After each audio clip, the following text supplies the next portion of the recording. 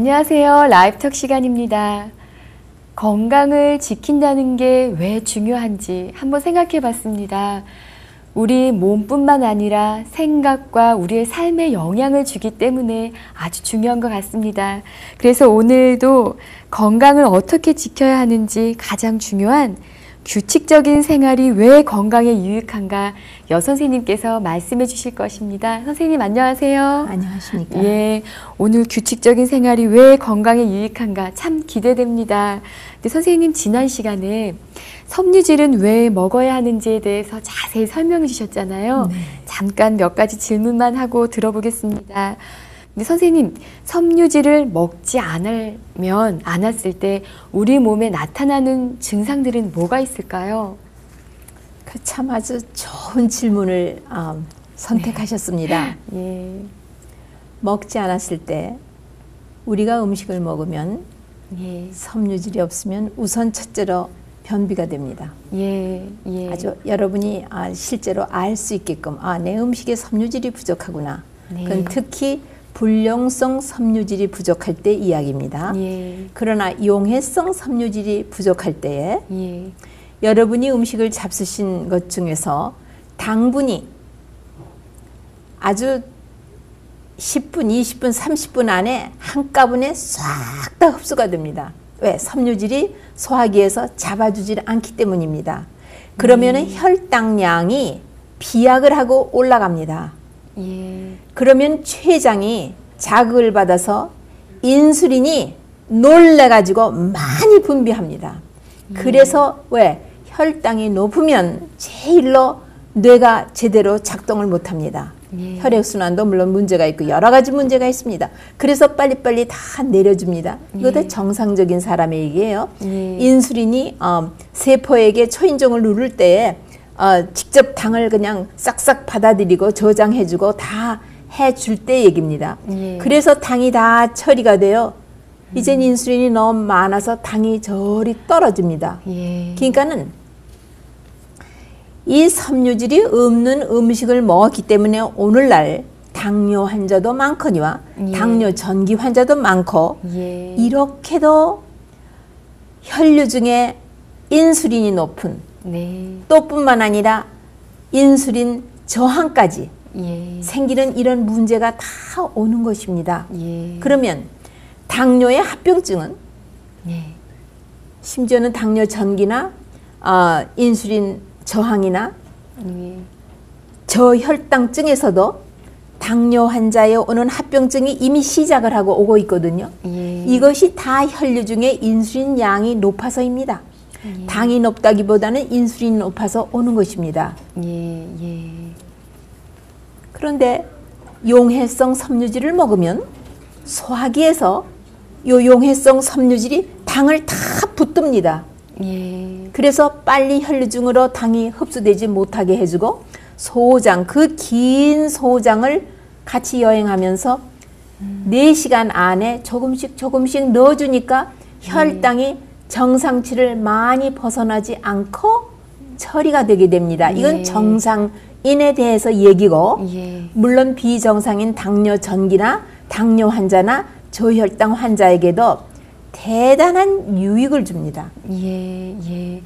어, 섬유질이 이 당뇨와 이렇게 밀접한 관계가 당의 있는지는 신진 대사와 예, 직접적으로 예. 관여하고 있는 것임을 요즘 알았기 때문에 예, 예. 요즘은 다 깎아버리고 없애버리든 어, 섬유질에 대해서 예, 어디나 왕왕왕왕 섬유질 섬유질 하면서 예, 야단을 하는 이유가 여기에 있습니다. 예.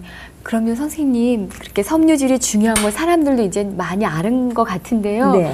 그래서 그런지 시중에 뭐 식이섬 섬유 음료, 뭐 섬유 뭐 바 해가지고 먹, 그냥 먹을 수 있는 것들 이런 식품들이 많이 나와 있는데 네. 이런 게 과연 우리 몸에 좋은 건지 섬유질이 안 먹는 충- 것보다는 먹는 것이 좋겠죠. 아, 그런가요? 예. 그러나 우리가 천연에 있는 곡식이라든가 예. 전곡이라든가 예. 또 과실이라든가 예. 신선한 야채라든가 이런 것을 먹음으로써 받아들이는 것이 가장 바람직한 것이고 예. 그런 그 음, 소프트 드링크 같은 것이 예. 그 섬유질이 있는 예. 드링크 예. 맛을 냈겠죠. 그렇죠. 색소도 예. 들어갔을 거, 향료도 들어갔을 거고, 당도 들어갔을 거고, 예. 당이 혹시는 어, artificial sweetener 같은 거를 넣었을지도 모르죠. 네, 당뇨 예. 환자를 염려해서 예. 이런 모든 것들이 예. 좋지 않은 습관을 불러 모으고 또 하나의 유익을 얻었는가 하면은 또 다른 부작용이 따르니까 그렇겠네요. 이왕 개혁을 하시려면은 아주 전적으로 예. 천연 그대로로 돌아가시는 개혁을 하시는 것이 참으로 바람직하다고 생각합니다. 예, 예. 아, 선생님 말씀 감사합니다. 네. 저희 선생님이요. 어, 이제 이렇게 잘 밸런스 있게 균형 있게 말씀해 주시는 게 참 많은 분들에게 도움이 될 것 같습니다. 감사합니다. 예. 그러면 선생님 오늘 오늘 규칙적인 생활이 왜 건강에 유익한지 말씀 부탁드리겠습니다. 감사합니다. 예. 천연계는요, 일정한 주기가 있습니다. 이 주기는 수초, 1초, 2초, 3초, 이런 초를 다투면서 돌고 있는 주기가 있고, 수년에 이르기까지 각각 다릅니다. 인체를 중심으로 생체 주기 몇 가지만 예를 든다면, 우리 머리털은 18개월의 주기를 두고 성장하고 빠지고 또 새로 나고 합니다. 혈액의 적혈구는 120일을 살고 다시 어, 리사이클로 돌아갑니다. 여자의 생리는 28일을 주기로 반복됩니다. 인체의 신진 대사는 24시간을 주, 두고 반복됩니다. 이 24시간 주기를 썰케디안 리듬이라고 하지요. 이 24시간 주기 반복이 우리 인체의 신진대사율과 체온의 변화와 효소의 분비 그리고 호르몬의 분비를 상세히 어, 우리가 어, 영향을 미치니까 우리가 이것을 좀 살펴보기로 하겠습니다. 첫째로 인체의 신진대사율은 24시간을 주기로 반복되는데 새벽 3시는 가장 낮고 낮 12시는 가장 높은 절정에 달합니다. 체온은 낮에는 높고 밤에는 낮아집니다. 효소와 호르몬은 그 작용이 신진대사율이 가장 낮은 새벽 3시에는 낮습니다. 따라서 근육의 활동 능력, 상쾌한 감정, 민첩한 두뇌 작용, 소화기, 비뇨기, 호흡기 등의 기능도 조절하는 효소와 호르몬이 현저하게 감소됨으로 인하여 저하됩니다. 이 현상은 인체가 이 시간에는 완전히 휴식하는 상태로 들어간다는 것을 뜻하는 것입니다. 아침 7시에 일어나는 것이 습관이 된 사람은 새벽 5시, 2시간 전인 새벽 5시에 뇌하 수체에서 ACTH라는 호르몬이 분비하기 시작하여 부신피질, 이 콩팥, 신장 바로 위에 피라미처럼 삼각형으로 되어 있는 그 부신피질을 자극하면 1시간 후인 새벽 6시에 부신 피질에서 아드레날린이 분비되며 이 아드레날린은 갑상선, 위, 췌장, 난소, 고환 등을 깨워 그 작용을 활성화시켜 호르몬과 효소를 분비시킵니다. 여러분, 췌장을 깨운다고 했죠? 그럼 췌장이 밤 동안 자고 있었나 보죠? 물론이죠. 췌장이 자고 있습니다. 여러분이 전기불만 믿고 시간도 따지지 않고 밤 12시, 새벽 1시, 2시 상관없이 지낼 때에 췌장이 자지를 못합니다. 췌장이 일을 못하면 무엇이 안 된다는 것이 여러분 마음속에 지금 착 지나갑니까? 당의 신진대사에 문제가 걸려들겠다 하는 생각이 들지 않으십니까? 이와 같이 모든 인체 기관들이 차례로 리듬을 맞추어 활성화되고 작용하는데 이 리듬을 맞추는 것은 여러분 오케스트라의 그 오케스트라가 이 칸덕이 지휘하면서 온갖 악기가 다 박자를 맞춰서 곧대곧대 나오는데 참 아름답게 하모니가 되면서 조화를 이루지 않습니까? 우리 몸이 그보다도 엄청난 조화를 이루면서 작동을 해야만 되는 우리의 참 좋은 몸입니다.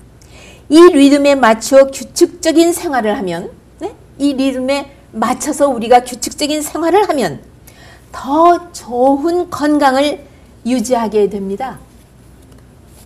여러분 수궁이 가시죠? 예. 아 그렇겠다. 맞습니다. 들어보십시오.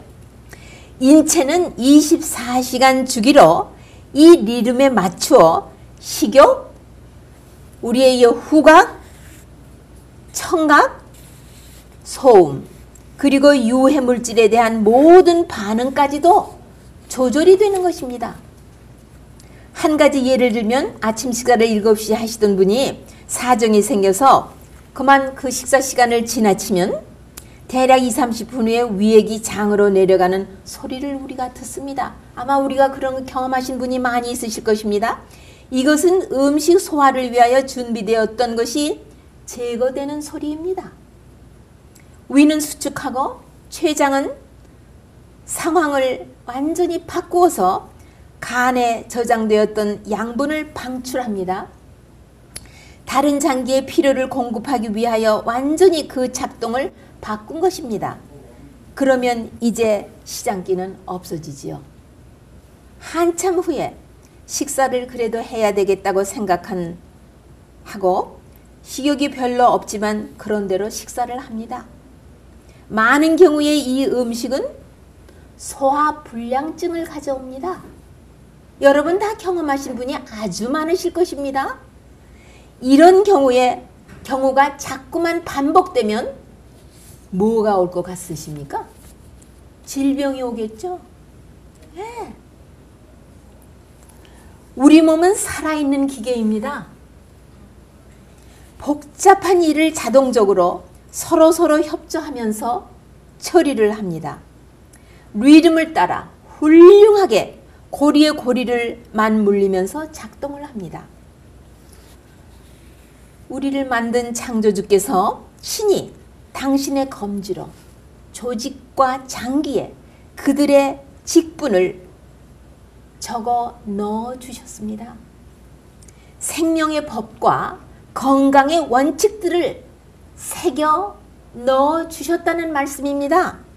바로 유전인자에 그렇게 새겨 넣어 주신 것입니다. 현대의학이 규명한 바에 의하면 DNA, 제놈, 그 유전되는 유전인자에 바로 창조주께서 원칙을 다 생명의 법을 새겨 넣으신 것입니다. 아무도 바꿀 수가 없는 생명의 법과 건강의 원칙을 새기신 것입니다. 건강의 원칙이 무엇인지 좀 감이 안, 잡, 안 잡히시죠? 건강의 원칙이란 우리 몸의 생리 현상을 말하는 것입니다. 여러분이 음식을 지금 먹고 나 다음 집에 또 초청을 받았으니 2시간 안에 이 음식 다 소화시켜. 그리고 여러분이 암만 호차리질을 해도 위는 절대로 그 음식을 2시간에 소화를 못 시킵니다. 적어도 4시간. 그리고 1시간의 휴식을 가지고 다음 음식을 위하여 준비를 해야지만 음식을 받아들일 수 있는 것입니다. 이러한 모든 생리 현상이 우리가 바꿀 수 없는 그것이 건강의 원칙들입니다. 24시간 주기에서 낮 12시는 하루 중 그 신진대사율이 가장 높습니다. 당의 신진대사도 현저하게 오전이 오후보다 훨씬 잘 처리가 되는 것을 학자들이 밝혀냈습니다. 이런 원칙을 토대로 기본적인 생활 습관을 규칙적으로 하면 더 좋은 건강뿐만 아니라 많은 질병을 예방 치료하는 것이 약속되어 있습니다. 인체의 예민한 두뇌 작용에서 기억력, 집중력, 맑은 정신, 상쾌한 기분을 최고로 향상 유지하기 위해서는 다음과 같이 규칙, 아주 규칙적인 생활 습관을 길들이는 것이 대단히 좋습니다. 우선적으로 수면에 대하여 살펴보십시다. 저녁 9시에서 아침 6시까지는 수면 시간입니다. 밤 12시를 중심으로 2시간 전과 4시간 후는 절대 건강을 위한 수면 시간인 것입니다. 깊은 수면에 들기 위하여 60분이 필요합니다. 9시에 자면 하룻밤 동안 평균 5번 정도의 깊은 잠을 주무십니다. 우리 인체는 낮보다 우리가 자는 동안에 대단히 많은 일을 합니다. 밤 12시 전에 깊은 수면에 들면 성장 호르몬이 많이 분비됩니다. 이 호르몬은 성장과 병치료 그리고 세포와 조직과 장기를 보수합니다. 일찍 자고 일찍 일어나는 것이 건강에 대단히 좋습니다. 1년 365일 한결같이 같은 시간에 자고 같은 시간에 일어나는 규칙적인 생활은 건강에 대단히 유익합니다. 늦게 자고 밤 늦게 자고 늦게 일어나는 것은 해롭습니다. 다음은 식사 시간에 대하여 조금 살펴보시겠습니다. 매일 같은 시간에 일정한 양의 식사를 하는 것이 좋습니다. 삼식을 할 경우 아침 식사 7시, 점심 12시 30분, 저녁은 6시가 좋습니다. 이식을 할 경우 아침 식사 7시, 두 번째 식사는 두, 오후 2시가 좋고요. 하루 중 아침이 가장 큰 식사면 소화 흡수율이 대단히 높아집니다. 오후 4시 이후에는 가볍게 식사하시거나 아니면 먹지 않는 것이 더 유익합니다. 식사와 식사의 간격은 5시간을 요하며 식사하는 동안은 30분이 적당하고 길면 40분, 이보다 더 길면 간식이 되지요. 간식, 과식, 늦은 저녁, 그리고 밤참은 대단히 해롭습니다. 이 외에도 정신 노동을 하는 시간, 육체 노동을 하는 시간, 반복되는 중요한 일들은 매일 같은 시간에 하면 능률이 오릅니다. 또한 기억력도 증진됩니다. 하루 일과를 여유 있게 계획하고 빠듯하게 몰아치지 않으면 실수가 아주 적습니다. 동물의 밤과 낮의 생활 주기를 일주일에 한 번씩 바꾸어 생활하게 했더니 평균 수명이 현저하게 줄어들었다는 연구 발표가 있습니다. 천연계에는 사람이 마음대로 변경할 수 없는 생명의 법과 건강의 원칙들이 많이 있습니다. 그 중에 하나가 오늘 여러분과 제가 생각해 본 24시간 주기와 인체의 신진대사율입니다. 생명을 보존하는 법과 건강의 원칙을 우리의 의지로 선택하고 순응함으로써 규칙적인 생활이 여러분과 저의 습관이 된다면 우리는 맑은 정신, 명석한 영적 감수성, 그리고 보다도 더 좋은 건강을 누리실 뿐만 아니라 이 땅에서도 무병 장수하실 수 있는 것입니다. 이런 약속이 여러분과 저의 것이 되기를 간절히 바랍니다. 네. 감사합니다. 선생님 말씀 감사합니다. 네. 우리들이 다 규칙적인 생활을 해야 된다라고 알고 있지만 왜 그것이 우리 몸에 어떻게 영향을 미치고 우리 생각에 어떻게 영향을 미치는지는 잘 몰랐잖아요. 몰랐는데 선생님께서 이렇게 잘 설명해 주시니까 규칙적인 생활을 꼭 해야겠구나라는 생각이 듭니다. 감사합니다. 선생님, 신진 대사율이 제일 높을 때가 낮 12시라고 말씀해 주셨잖아요. 네. 그래서 말씀드리면서 꼭 아침을 꼭 먹어야겠다는 생각을 하, 게 됐거든요. 그러면은 아침도 꼭 시간에 맞춰서 먹고 또 가장 중요한 일 그리고 또 생각하고 공부하고 하는 모든 일도 아침에 하면은 좋을까요? 대단히 좋죠. 예. 이 뇌의 생체 리듬이 있습니다. 네. 아침 시간이 가장 두뇌가 명석합니다. 예. 그러나 뇌는 당분을 만들어내지도 못하고 저장하지도 못하고 네. 꼭 공급을 해야 됩니다. 네. 예. 아침 식사를 7시 예. 일찌감치 식사를 적당하게 잘 하시면 예. 가진 것을 가지고 현금 출납하듯 네. 순환이 됩니다. 예. 저장한 것을 또 빼낼 필요가 없습니다. 예. 말하자면 여러분이 아, 세이빙 어카운트에 가서 돈을 꺼내올 필요가 없이 현금 출납을 하게 되는 것이죠. 네.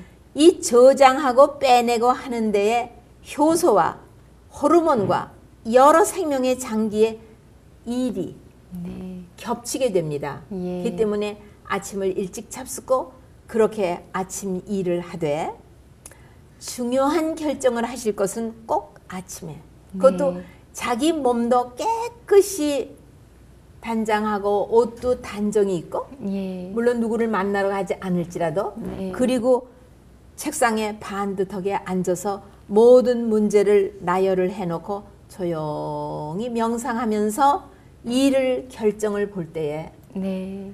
믿는 사람은 기도하는 마음으로 예. 실수 없는 결정을 하시는 경우가 대단히 많으신 것을 해보세요. 경험하실 것입니다. 예. 예. 뇌는 아침 시간이 대단히 좋습니다. 예. 뭐 예를 들면 예. 이래요. 피서지에 하루 종일 피서객이 다녀간 그 모래사장은 누구의 발자국인지 알 수 없이 수많은 발자국으로 엉켜 있습니다. 우리가 하루를 살고 난 우리 뇌는 그러합니다. 예. 그러나 밤 동안에 밀물과 썰물과 바람이 그 엉킨 발자국을 다 치우고 언제 아무도 다녀가지 않은 것 같은 모래사장을 마치 스캐닝을 하는 것처럼 피아노 조율을 하듯 해놓은 그 상태에서는 bird 일찍이 새가 지나간 새 발자국이나 한두 개가 있을 정도지요. 네. 우리네가 밤 동안 쉬고 난 우리네는 바로 이러합니다. 예. 그러니 아침 시간에 중요한 공부, 중요한 결정, 중요한 연구, 온갖 것을 아침 시간에 한다는 것은 대단히 중요하며 예. 아직 햇살이 퍼지지 않았을 때 밖에 그 경쾌한 음, 산소를 호흡하면서 햇살을 받으시면서 운동하는 것도 경쾌하고 아침 시간은 황금 같은 시간입니다.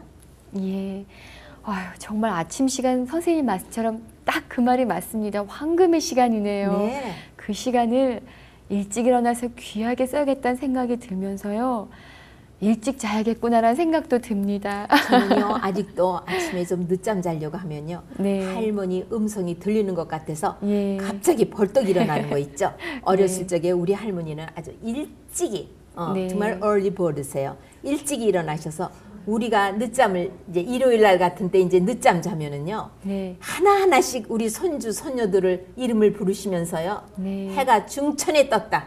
예. 어, 하시면서 세상 일이 다 너희를 스쳐서 지나갔다. 네. 너희는 오늘 하루를 헛살고 있다. 하시면서 호려호려 하시는 네. 소리가 지금도 녹음되어 있는 게 그 녹음이 종종 돌아가는 거 있죠. 네. 그래서 저는 아침에 늦잠을 잘 못 자는 경우가 참 많아요. 네.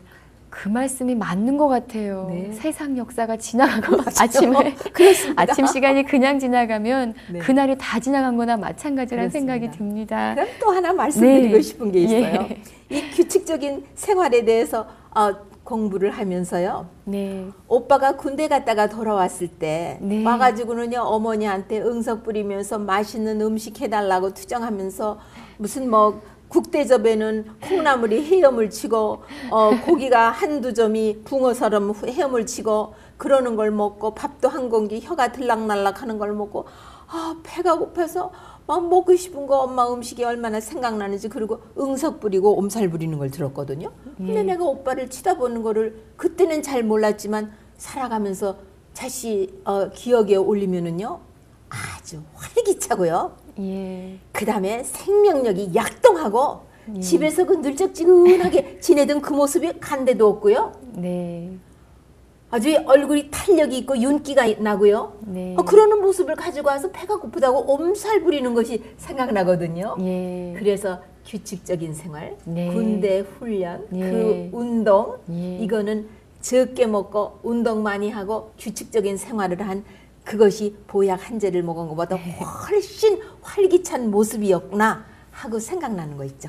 예, 진짜 맞는 것 네. 같습니다. 규칙적인 생활이 우리에게 주는 그 유익을 생각해 보고자 할 때 군인 아저씨를 생각해 보면 진짜 그렇게 살아야겠구나라는 네. 생각을 더 하게 될 것 같습니다. 그게 왜 그런 거냐? 예, 우리를 만드신 창조주께서 예, 우리를 그런 24, 네, 24시간 주기라는 그 틀에다 놓고 우리가 마음대로 이렇게 저렇게 할지라도 네. 절대로 변경 안 되는 원칙이 중추를 딱 이루고 있기 때문에 우리는 거기에 순종하면 약속된 축복을 수확합니다. 네. 어, 해가 아침에 뜨고 또 저- 오후에 지는 그 시간이 항상 일정하잖아요. 그게 그냥 하나님께서 그런 그냥 그렇게 그냥 말씀되는 대로 창조하신 게 아니라 뜻과 계획과 우리의 모든 건강을 한꺼번에 다 생각하시고 그렇게 놓으신 것 같다는 생각이 듭니다. 또 한 가지 보세요. 예. 해가 뜨고 지는데 네. 사시 장춘에 따라서 네. 여름에는 해가 길고 네. 겨울에는 해가 짧지요. 네. 여름에는 많은 사람들이 잠이 적게 자도 충분하고 오. 왜 햇빛의 노출이 많았기 때문에 아. 겨울에는 해가 짧기 때문에 햇빛의 노출이 적었기 때문에 네. 많은 긴 시간을 자야지 몸의 회복이 충족이 됩니다. 와. 그러니까 이 사시 장춘이 어, 네. 우리가 적응할 수 있도록 네. 하나님께서 참 아주 신묘막측하게 네. 우리를 만드셨어요. 그렇습니다. 정말 그러네요. 저희는 네. 그저 하나님이 만들어 주시고 주신 시간 안에서 거기에 마- 선생님 말씀처럼 우리가 선택하고 순응하고 우리의 의지를 바쳐서 살아간다면 건강하게 될 거라는 그 믿음이 있습니다. 감사합니다. 예, 선생님 오늘 말씀 감사드리고요. 또 선생님 참 아침을 많이 먹어야 우리가 모든 뇌나 모든 몸이 다 신진대사가 잘 돼서 우리의 건강 유익을 얻잖아요. 그 말씀 드리니까 저녁을 적게 먹었다는 생각이 들어요. 그렇죠. 저녁을 많이 먹으면 아침에 안 먹히잖아요. 그다음에 저녁을 가볍게 먹으면 밤에 네. 깊은 잠을 자고 모든 간과 모든 어, 장기가 밤 동안에 우리가 자는 동안에 해야 할 일을 충분히 해낼 수가 있는 여력이 생깁니다. 네. 시청자 여러분, 오늘 말씀이 정말 중요합니다. 이 말씀대로 그렇게 생활하심으로 인해서 유익을 얻으시기 바랍니다. 다음 시간에 선생님 또 말씀 기대해 보겠습니다. 그럼 감사합니다. 다음 시간에 뵙겠습니다. Thank you.